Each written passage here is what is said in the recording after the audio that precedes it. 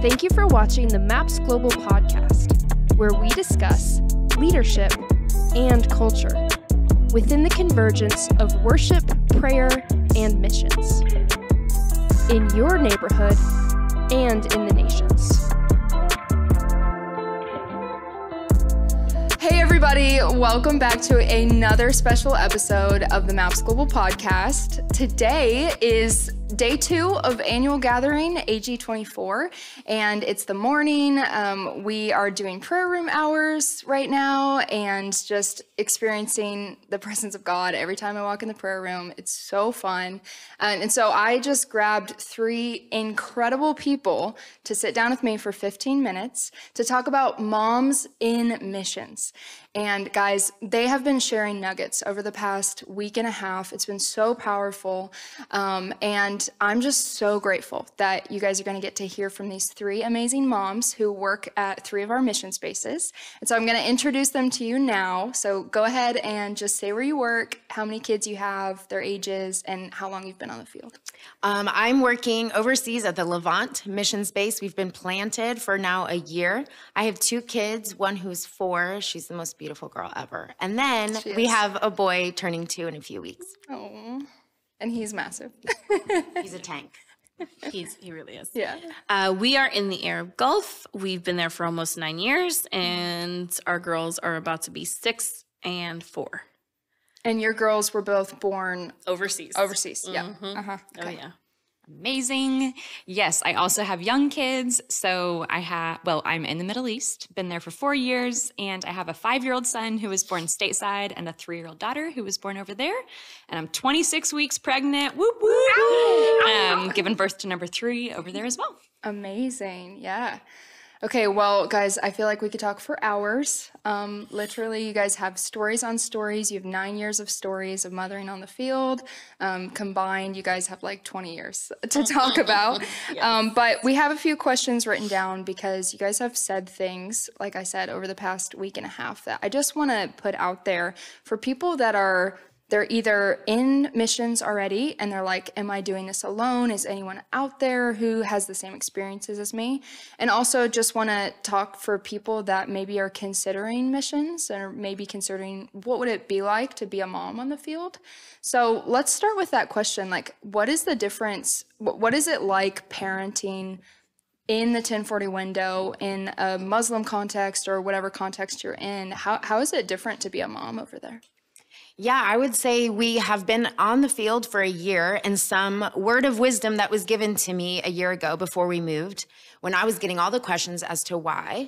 I think the wisdom I was given was to make sure to separate um, being a mom with young kids and that being hard versus what is hard about the assignment overseas. And so I think that has been a filter for me every day now being overseas. I carry that with me like a nugget so that I can distinguish the challenges mm-hmm. of being on the field while also understanding the blessings of the assignment, the blessings of being a mother, and just knowing how to say what is hard. And sometimes when you just say, this is hard, mm-hmm. it helps. Mm-hmm. And then to know, like you said, Jules, that it it is hard, but you can can be um, on the field and still loving what you're doing and not being alone. Yeah. And you mentioned something you said earlier is like you're you're a mom no matter what, and so you're like gonna be wiping butts every day. Wiping butts. Changing diapers. Yes, telling diapers. kids not to touch hot surfaces and yes. plants and all that stuff. Like you're doing yes. that every moment of every day, no matter where you live.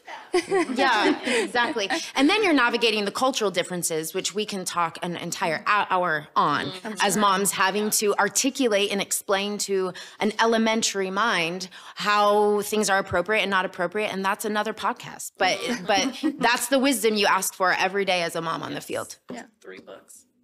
Yeah, I think, you know, and again, this happens stateside too. You're having to navigate the culture that you're in. And so for us, my kids are living in a country that's under Sharia law, mm-hmm. under Islamic law. They're hearing the call to prayer to go off five times a day. They're very much, they're mostly seeing covered women around them. Mm-hmm. So they have a lot of questions about just n- what is normal to them, especially when we come back from trips like this and they see Americans and they realize, oh, that's really different from where I live. Yeah.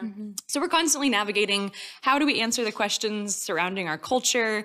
How do we give ourselves to the culture without um, like without giving up parts of motherhood or parts of family that feel like no this is kingdom. This isn't Yeah. just like western eastern culture differences. This is kingdom. Yeah. yes. This is who our family is. And so i think you have to do that whether you're a mom anywhere but it's just a unique challenge when you're living under such a traditional strong group culture um, like we are. Okay. Yeah, that's that's an incredible point. So I think something that is distinct in being a mom overseas, especially with littles, is that you're in ministry. And then when you're overseas, ministry, and this could be ministry anywhere really, but it's ministry is almost 24 7. Mm-hmm.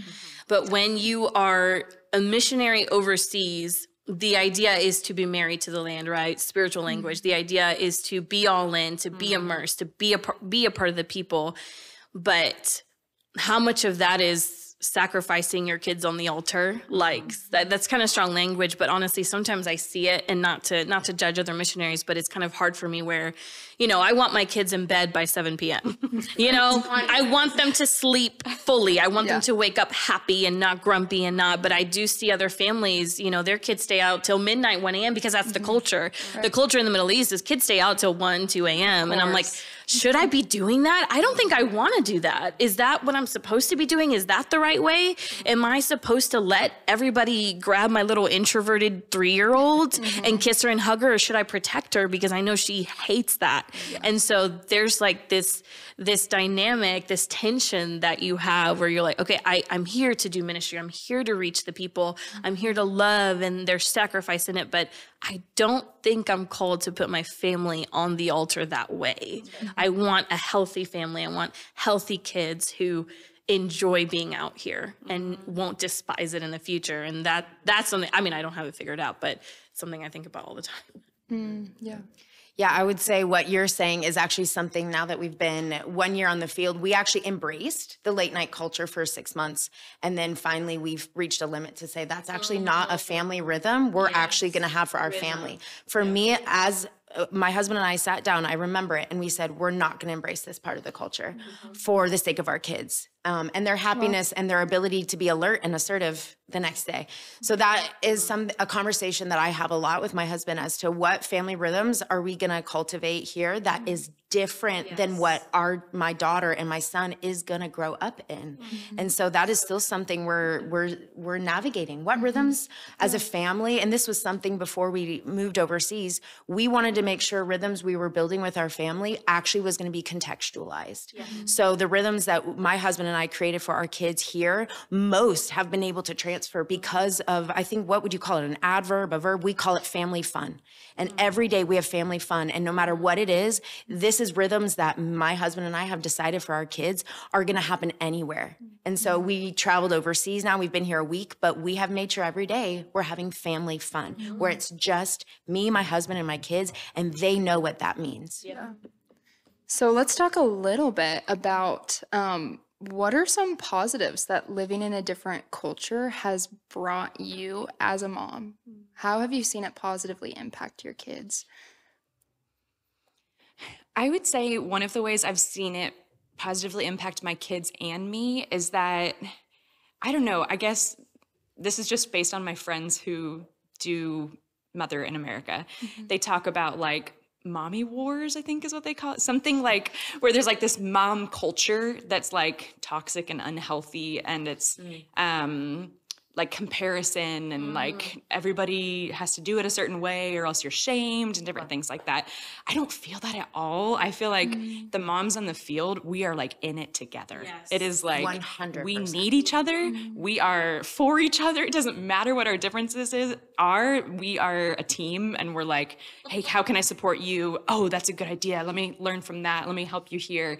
Um, and so it just feels like a team. Like the moms in my life are like my champions, you know? And so I guess that has just obviously positively affected me and my kids because my kids are getting a better mom because I'm being authentic to who I should be, I think, in the kingdom and not just living in this world of comparison. Um, hopefully, not everyone listening is in that world, but that's just what some of my friends have discussed. In that same vein, you and I were in the car the other day just Mm-hmm. sharing stories. And I just love that when you have a spiritual family who are covering you, Mm. you can pull on other moms in your family that actually I want to draw out of experience, especially another mom with more field experience i've drawn on you. I mean we've sent voice notes back and forth about what do i do? I'm trying to consider putting my kid in school. What did you do and what did you go through? And so that's that just speaks to the value of spiritual family other moms on the field um, and just being able to draw from that. But i would say jules to your question just the positives i think I've seen this in my four year old daughter, her world perspective, her biblical perspective. When I tell her to look out our window and mm. see the Mediterranean Sea mm-hmm. and to say, this is actually in the Bible, mm-hmm. this is where Paul shipwrecked. Mm-hmm. This is all of a sudden, I can tell that my daughter knows the Bible's real mm. because we're opening up, or even. chills. Or even when Jesus walked through an area in our country and healed a woman, I said that happened here. Yeah. And so I just think that for me, the positive is that the Bible is alive and real, and my kids know it. Yeah. That's powerful. That's so good. That's super powerful. Yeah, I would say um, a positive as well. I think that word you used is really great uh, perspective. Um, my kids can be friends with anyone. My mm-hmm. kids are surrounded by a hundred different people who look a hundred different ways mm-hmm.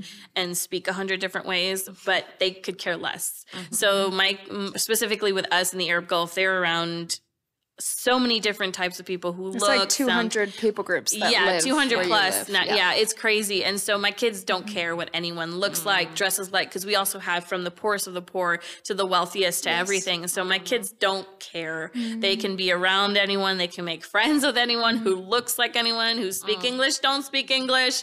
Um, I'm so grateful for that, that they get that perspective. And I think uh, the the fact that our teams our family. Yes. That one is huge because one positive is the the opposite of one negative where we're not around grandparents, right? We don't get the grandparents, we don't get the aunts and uncles, but our team, like what Jesus says, like I will give you ah here we go.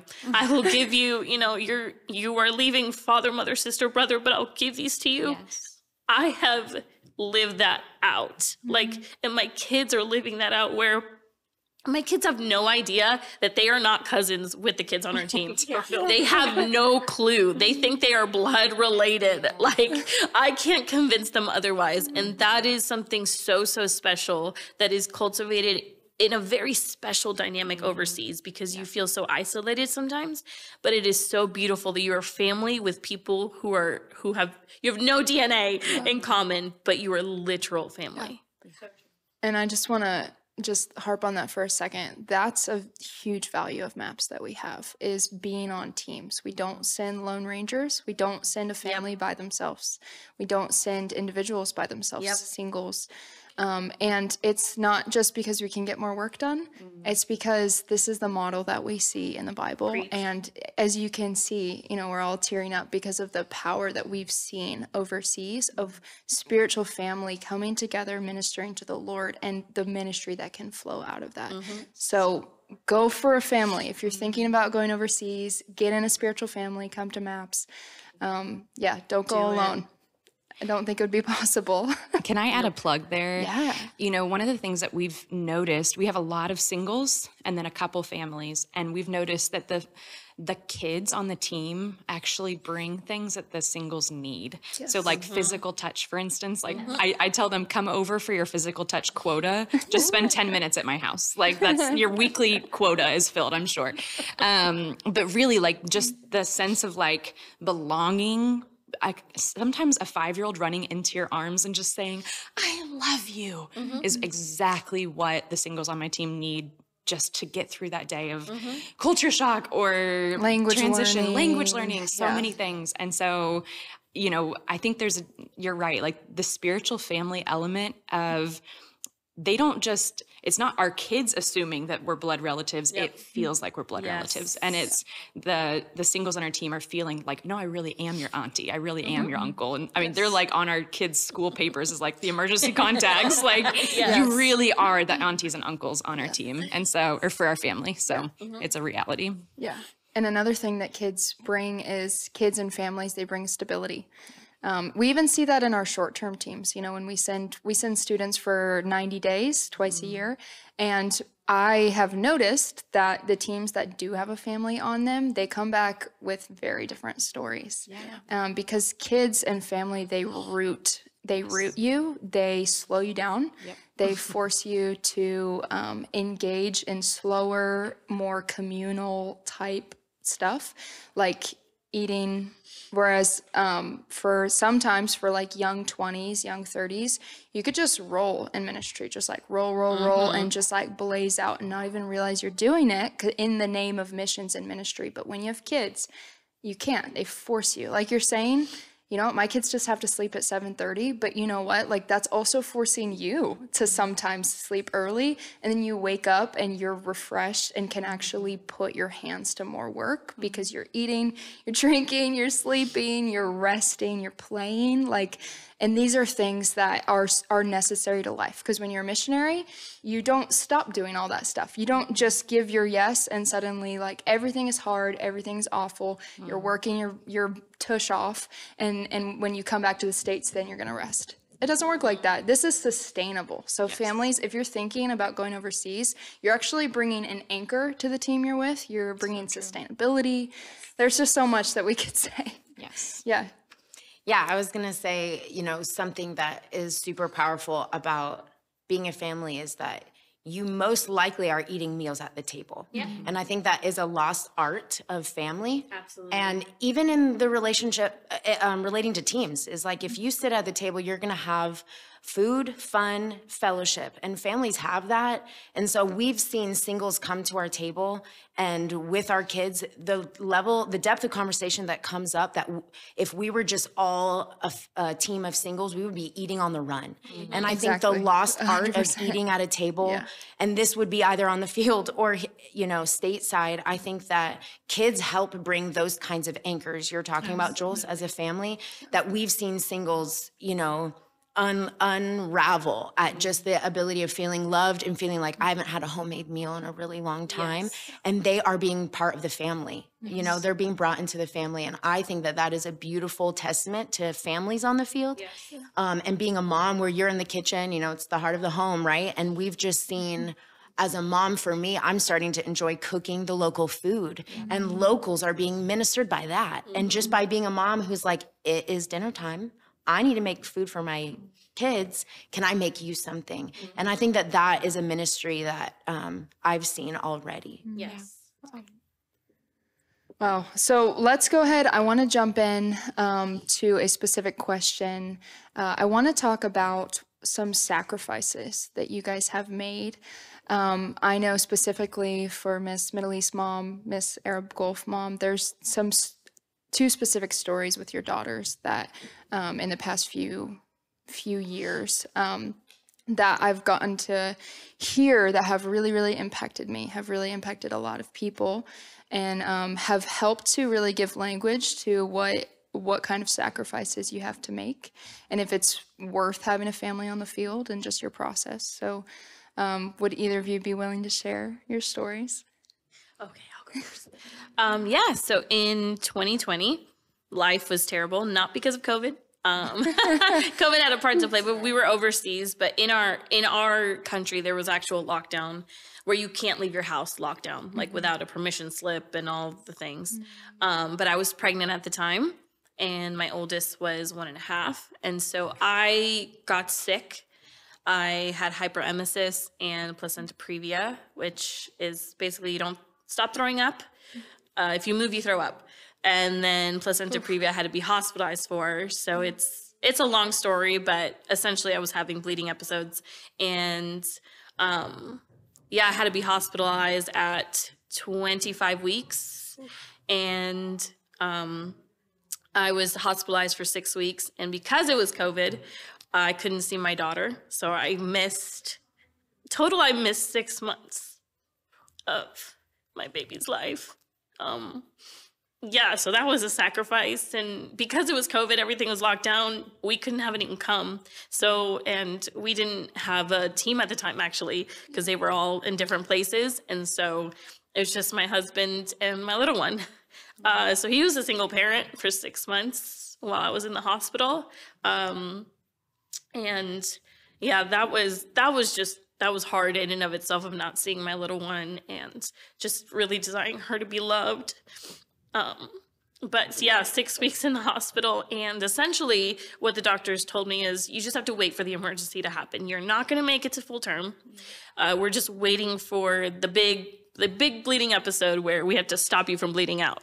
So that was great. so I'm just sitting in a hospital, um, a government Islamic hospital with the call to prayer five times a day going off.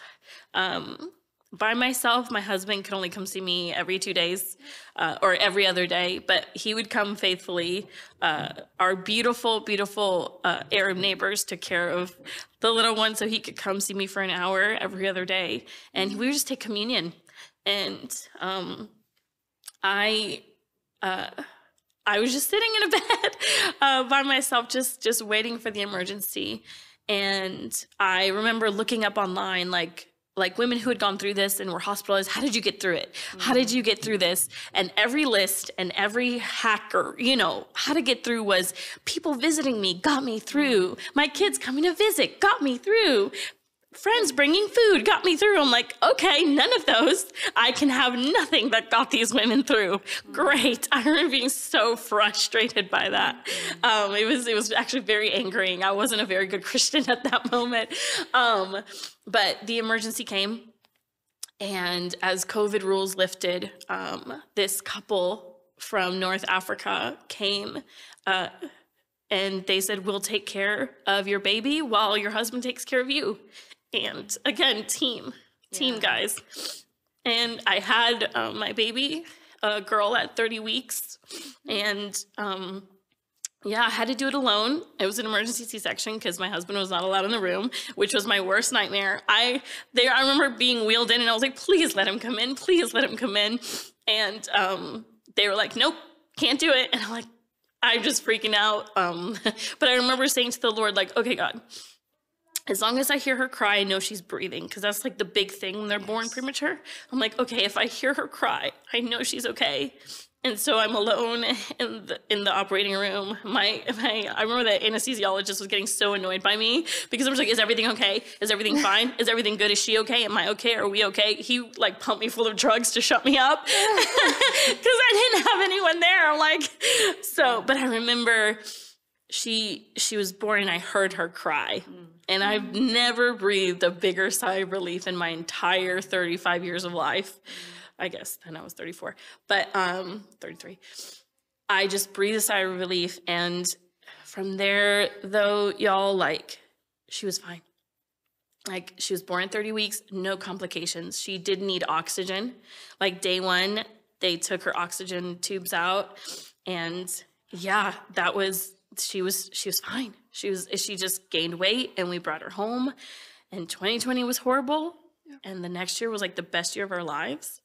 But yeah, that was that year was the year my husband and I are pretty um we're pretty okay going overseas. Like we're not we're not weeping over leaving. Like, actually, it wasn't that big of a sacrifice when we went over, mm-hmm. even being married. And we, we're like, okay, we miss a couple holidays. It's actually wasn't a big deal for us. Mm-hmm. It was the first time I ever felt the sting mm-hmm. of sacrifice. Yeah. Of I can't call my mom. Yeah. I can't call grandparents. I can't call aunts, uncle. Like, there's no one I can call to help. Mm. Like, even my spiritual family isn't there, right? Because it was COVID, people were everywhere. It's like, I can't, it was, I couldn't call for help. Mm.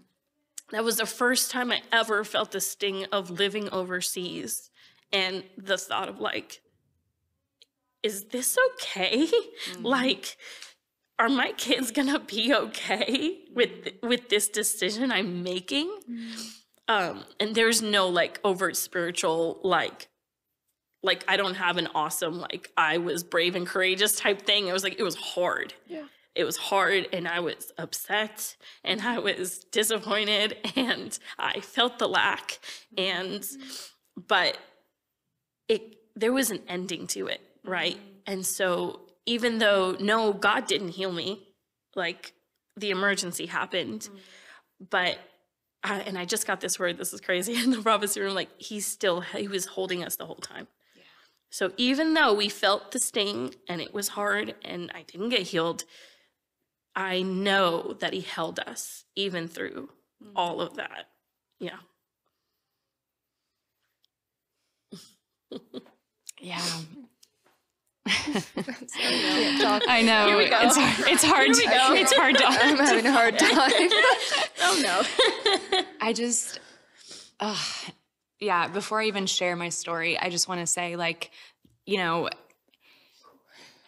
after I had our health scare, I started asking the same questions. Like, and when I said, you know, I, the thing that happened to me after really I walked through a season of healing from this, the question was, like, if that happened again, would it be worth it? Mm. And I knew that I knew that I knew that it was worth it because what it did is it put a different type of reliance on Jesus. And even in missions, we can do it in our own strength. We can. Sometimes we can take the sacrifice and go, oh, yeah, okay, we can still do this. Like, it'll be fine. We got this. Mm-hmm. And mm-hmm. when you have moments like that, it resets you again to write what matters and to mm-hmm. fully depend on Jesus. And yeah, I just want to affirm like he did hold you. He did. And it's evident by the way that your family is is today that he has held you and has actually strengthened you and redeemed you from it.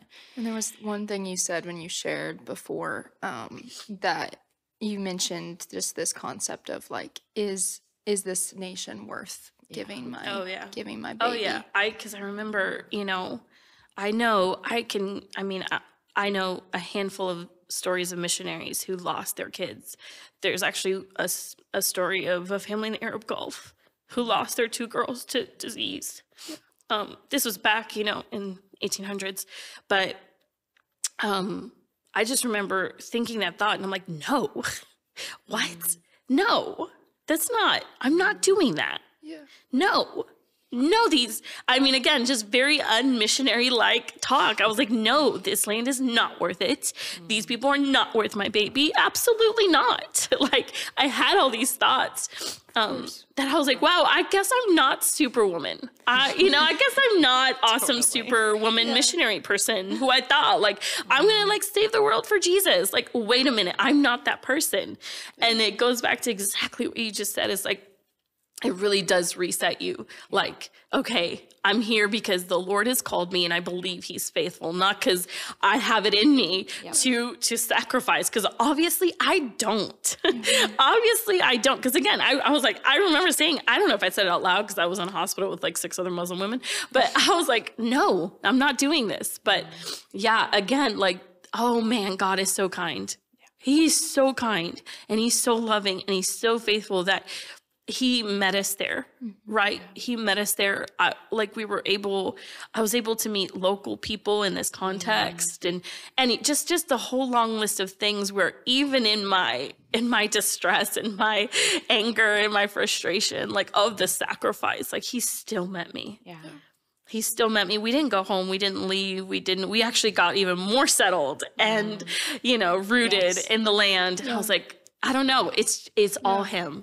It's all him. There was nothing I could manufacture or do or stir up in myself. Absolutely not. Obviously, but man, man, did he did he meet me there? Mm. And that that sacrifice you've mentioned that whether you wanted to make it or not, you made it, mm-hmm. and it it launched a season of fruit oh in your ministry, and you went from a few years of you know working, pioneering, then you put the seed in the ground, you know, and and then.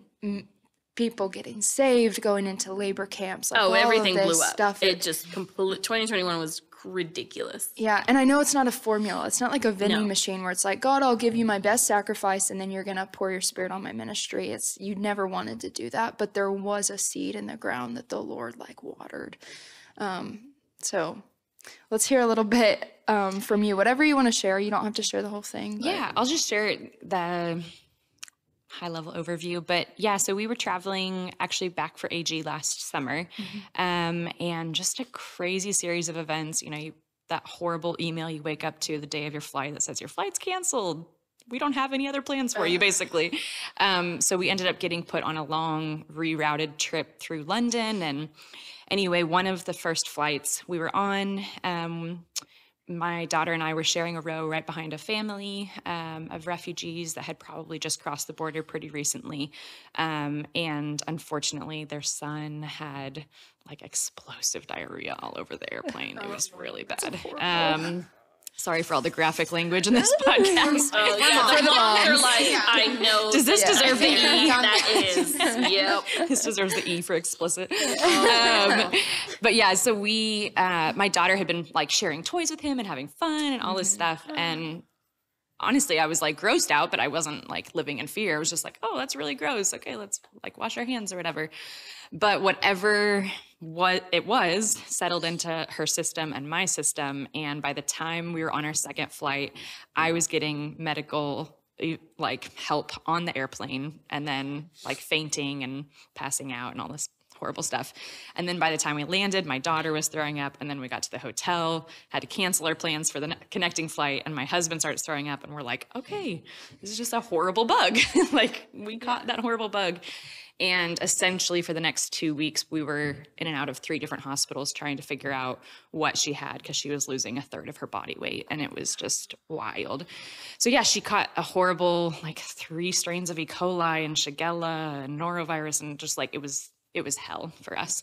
Um, And, in, And- the, in the midst of that, also dealing with seizures. Yes, yes, and she had febrile. She has febrile seizures, so she was seizing a couple different times, super high fevers, and they would come out of nowhere.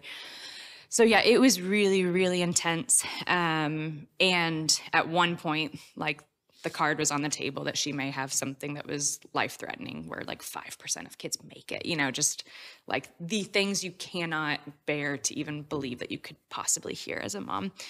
And so I was a wreck. I mean, I was to- I was literally at the end of myself. Like, God, I'll do anything if you can spare her life. Mm. Anything if you can mm. spare her life. And for sure, asking the questions. Like, yeah, I love how you say I wasn't a good missionary. I don't know what a good missionary is, but I wasn't it either. Um, so weak, so, um, you know, your most vulnerable, like, emotions in life. Uh, the most natural thing in the world for me is to try to protect my kids, and there's nothing I could do. And so, yeah, it was it was truly horrible. Praise God. Um, a couple weeks later, she was making it through, and she didn't have the horrible thing that the doctors were kind of thinking it w- might be. And you know, you can always, in hindsight, you can see like a thousand different ways God was working on your behalf, even in the midst of hell. And so, you know, we had this Christian doctor who came in who was like, "Hey, you've been testing for this, but I think you need to test for this." And and she prayed over us, and just like all those like precious things that like yeah, again, it was just like God intervening and saying, I'm going to make a way for you here. Mm-hmm. Mm-hmm. Um, and then AG started the day after she got out of the hospital last year. And so I was just like, mm-hmm. God, I don't even know what I need, but I am so weak. So I just need you to just touch me this week. And I was basically just coming in like that, like, I don't have anything to give anyone. I just am here and I need to receive from you. And a couple days later, I just had one of the most powerful encounters of my life where um, actually Mike Miller was here um, preaching um, that night. I think it was actually his wife preaching. I don't know if it was preaching. They were just talking. There was And no was on the floor. preaching. They were yeah, on the floor. just Yeah. presence. it was powerful and i was um i was laying down or i just suddenly was like face down and they're preaching out of luke 7 i think or luke 8 the woman um, at jesus's feet washing his feet with her tears and i i saw this image of myself doing that and then as i was doing that for like a long time, suddenly I felt his tears drip on my back. That he had actually leaned over and was, he was crying with me as I was crying with him. And that like my tears were moving him my tears were causing his response and i was just like oh my gosh. And people came up and they were praying over me and like prophesying all this stuff and everything was just lifting suddenly like it was just like lifting off of me and i was just like so overwhelmed and i was like god what do i do to be healed? And he said this. Mm. This is what you do to you let my tears wash over your tears. That's mm-hmm. how you'll be healed. And it was so, so powerful. Like, I obviously, it didn't take away the pain, it didn't take away the hell that we had gone through, but suddenly it gave me like peace. And it, Yeah. and it was like, okay, I don't, I don't know. I don't know why any of that happened, but I know that if this happened again, Yep. right? If if anything happened again, he will meet me and he will mm-hmm. cry with me over my own tears and over my own daughter's life and pain and all of that. And it just, yeah, it just flipped a switch for me that it's, it's going to be okay. Yeah. and Yes. really, I mean, that moment like marked me personally in my relationship and my that reset moment for me with Jesus that like this entire last year whenever I'll have just a moment of being like oh god I'm feeling flustered like where are you he just brings me right back to that moment and it's just been like an anchor for me and so um, as much as I don't want those moments, we do not choose that way of sacrifice. We do not choose that way of encounter. Um, he does meet us and does like set us on a trajectory for more intimacy and like sustainable intimacy to keep running and Yep. yeah, keep going no matter what happens. Yeah. Thank you guys for sharing those stories and just helping um, put real, real life to what it means to be a mom on the field and give your life. As we wrap up, um, I wanted to tackle this question quickly, um, so you guys could just give a super short answer.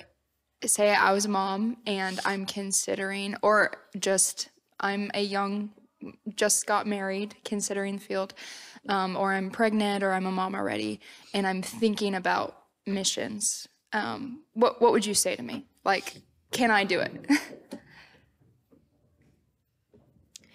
I would say I'm taken back to what my personal experience was. What I um, brought before the Lord is I need a word over each of my kids that you give me to remind me on the field what you say about them.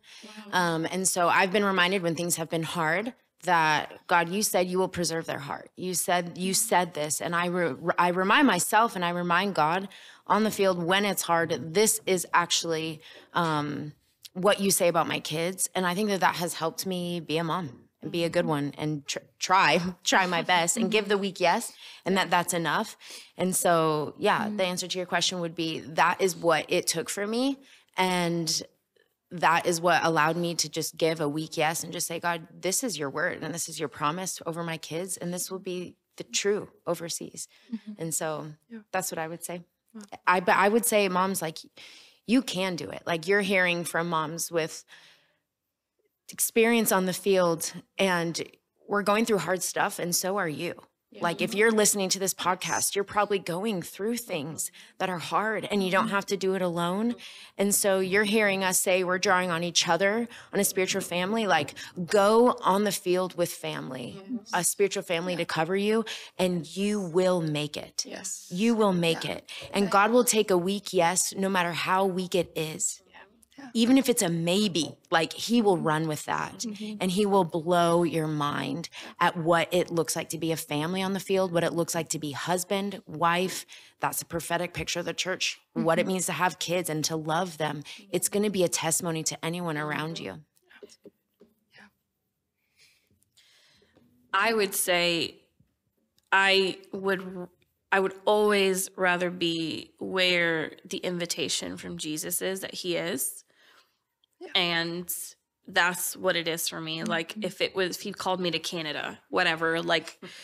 I mean I don't Lord please no. But it, it's uh like like for me it's like no matter where you're called, the point is that he extends his hand, he mm-hmm. extends this invitation, and there's just a depth that you go with the Lord when you just say yes to the invitation. Mm-hmm. So anyone listening, I, I don't know, we just met a couple who are like pioneering Alaska. It doesn't the where doesn't matter, right? He picks the where. He he takes you, but I, I think what it is is that when he extends his hand, when he mm-hmm. extends his invitation, when you say yes, I'm just like, okay, Lord, whatever else happens, happens. But there's just something. There's this, it's beyond description what you find in Jesus when you just accept the invitation and you go. And the thing that happens as as a family, when you go as a mom, you go as a family, there is a slowness and a weakness um, that you're going in, you know, because you're like, I have to keep people alive and fed and butts wiped and all the things.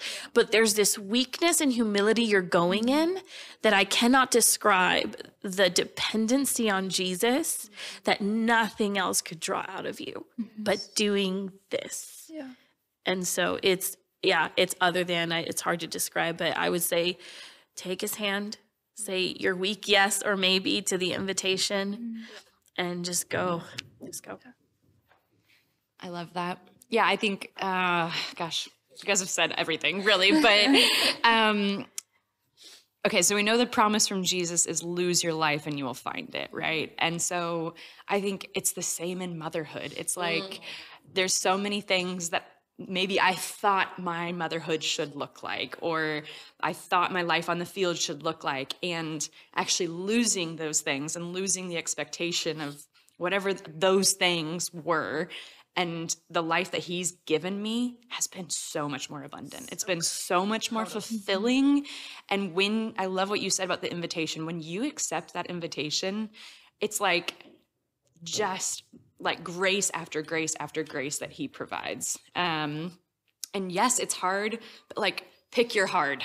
What Right, what is right. your type of hard? Because there is Right. hard in everything. Yes. and the hard but the the hard with the acceptance of this is from Jesus means that there is grace for that kind of hard, not oh, just pushing through to push through. And so, man, just embracing his assignment in motherhood and missions has been one of the most fulfilling parts of my life. And I'm I'm sure you guys can say the same. And so, yeah, you can do this. And we want to instill this. courage in any moms that are out there. If you are pregnant, you can have babies on the field. You've had Hallelujah. three, one on the way so far. Hallelujah. You probably have We want more. Yep. Yeah, They'll have course. more. If you are newly married, we have newly married people on the field. Like you, yeah, no matter what, like you can bring your families on the field. And I just, yeah, we have, we could all sit around Seven babies on our team. Let me tell you, seven kids. Seven kids. I love it. We, we are always amazed at, um, the impact that a family moving overseas has not because they're more effective than a single but because the culture goes oh you're willing to raise your family over here? And that that warms the people's hearts in a in a really specific tender way. So praise god for that. Oh, you can do it. You can do it. Wow. Thank you guys so much for your time. This has been amazing. So many tears. We cried the together. whole journey. it wouldn't be missions motherhood whatever this is called without tears it would not. It would not. Nope. Well, if you watch this and there's any interest in you um, of finding a missional family, if you want to check out maps, hear a little bit more about what we do, you can go to our website. Um, we have a training application you can find. Um, you can DM us on Instagram, and uh, we'll see you on the next podcast. We hope you enjoyed this episode of the Maps Global podcast. Make sure to subscribe to this channel and check out previous episodes. Have you seen our 50 Hours documentary? Watch it now. And don't forget to sign up for our email newsletters.